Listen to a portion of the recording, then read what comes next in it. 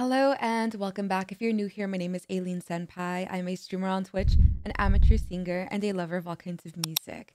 Now, today we're actually going to be doing something a little bit different, something I've been requested for quite some time now, and we're finally going to dive into Eric Clapton. I did get the song recommended the most, a little bit nervous of it as I I know I can get very empathetic with music. I feel it all over, so I know this one might be a little bit difficult as I did see here in the video description that the song is written about Eric's son who passed away in a very tragic accident when he was very very young, when he was just a small child. So I already I have no idea what to go into, but just knowing that alone, I know that this is going to be very deep. So we're just going to all feel all of this together, and I really really can't wait to appreciate as I've heard the name Eric Clapton my entire life. And I feel incredibly guilty that I have never really dissected his music and really educated myself on, you know, the classic musicians that everyone is, you know, well praised and well aware of. So we're changing that today. But I uh, I know I'm rambling, but let's get started with today's video. If you do enjoy this content though, please be sure to leave a thumbs up on it. And please let me know which other Eric Clapton songs you would like me to listen to next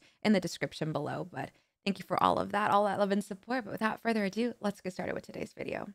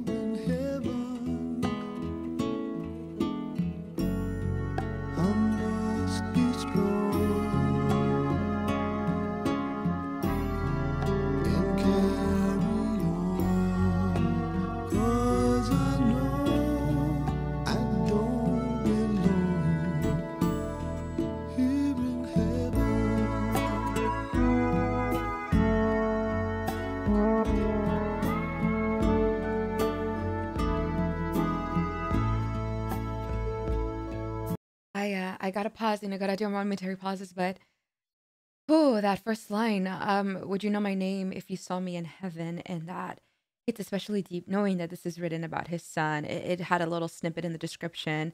Uh, I, I I'm I'm assuming um he he lost his son at four years old. It said that he fell out of a window. Very incredibly heart wrenching tragic accident. And hearing that line, it just almost sounds like he feels a little bit guilty about it. Like uh Will you remember me? I know his son was little, so the, the idea of him feeling that is just so incredibly heartbreaking. Um, I'm gonna go back a little. I, I'm so sorry about the pauses, but you know some of these videos get blocked, and I, I just really want to be safe. But um, yeah, I, I I'm already I'm already a thousand percent invested. This is just so coming. It's so heartfelt, incredibly heartfelt, and I feel all of that emotion and pain in his, you know, just the strings of his guitar and his voice. Um, but wow. Um, we're gonna go back just a little, just so I don't mess with that flow. But let's continue.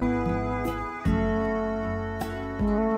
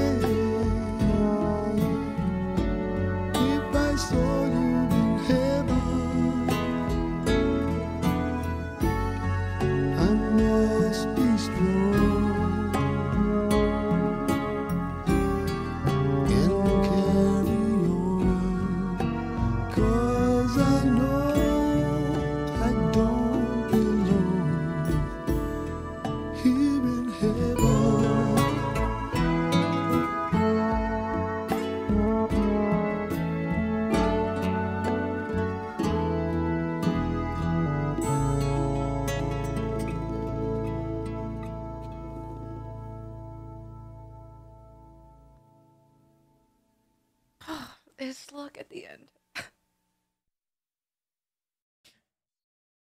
Knowing uh the context of that. Sorry, just and I also I I sorry for apologizing constantly for my emotions. Um knowing what the song is about makes it so much uh, more heart-wrenching seeing his face at the end. Even that little acoustic guitar solo, it felt like his guitar was crying and hmm, I know the uh the background. I don't know if it was uh uh, the story, if it was from a movie or something, or if it was part of the video. You know, it seemed like there was uh, it seems like a couple. Uh, the way I put it, um, in in reference to what the song was supposed to be was, you know, two people who you know lost a child or are going through some sort of hardship and are just kind of like you know grieving. I know that's a huge thing that can uh, affect people is the loss of a child. Number one thing in the world that you know causes uh, so much depression and heartbreak and in in divorces and issues with you know uh, relationships is is the loss of a child.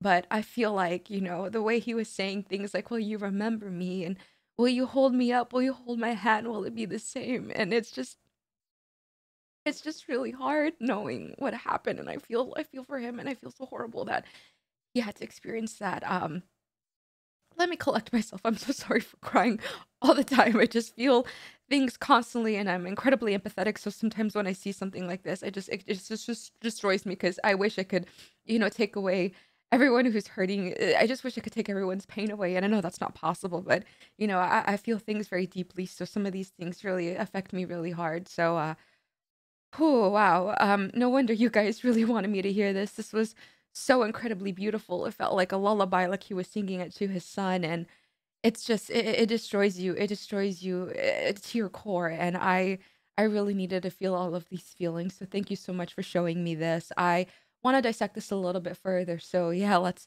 let's just dive into it. After watching this, I'm a little disappointed in myself that I didn't listen to Eric Clapton sooner. Of course, I've heard this name be talked about so many times in music. Everyone knows him as one of the greatest of all time. And I'm honestly just kicking myself in the foot for not listening to his music, not appreciating him a lot sooner. I am way long overdue, but you know, all I can do is it's better late than never. Now I can really dissect him and just go into this rabbit hole of all of his music as I know he has a lot. And please, please, please tell me which one you'd like me to hear next. But after this video, I am already a fan. I'm already invested. The way that, you know, he connected with the audience, the way he connected with the song, the way it was just, you know, from his heart completely. You felt the emotion, you felt the sadness in his eyes, in his playing. The guitar, I felt like it was crying, like I mentioned, I felt like it was wailing at the end. And then that last verse, the way he ends it, and he's just kind of like looking down and and all of this sadness is just piercing through, you know, the screen and it really affects you in the worst way. You feel all of that pain just being transferred over to you, and you just feel like you wish you could have done something. You feel this anger, you feel so upset that he had to go through something like this. You know, a life, an innocent small life was lost, and it's it's just it's so tragic, it's so ugly, it's so horrible, and I am so incredibly gutted that he had to deal with this. I can't even begin to imagine how that must feel, and I feel for anyone who has ever lost someone like this, lost a child, because that must be just, you know, the absolute worst possible thing that could ever happen in anyone's life. So my heart really truly goes out to you if you listen to this song and it resonates with you, or if you've ever lost somebody. I started reading through the comments of this video and I just, you know, was sad for everyone, but also I feel like this gave them a sort of comfort and made them feel not alone. A lot of people talking about their experiences of losing parents, losing, you know, partners, and I, I'm really sad for them. But you know, I'm I'm happy that Eric was able to, you know, put his emotions on paper and and sing this for us and really help other people deal with their own uh, loss and grief. And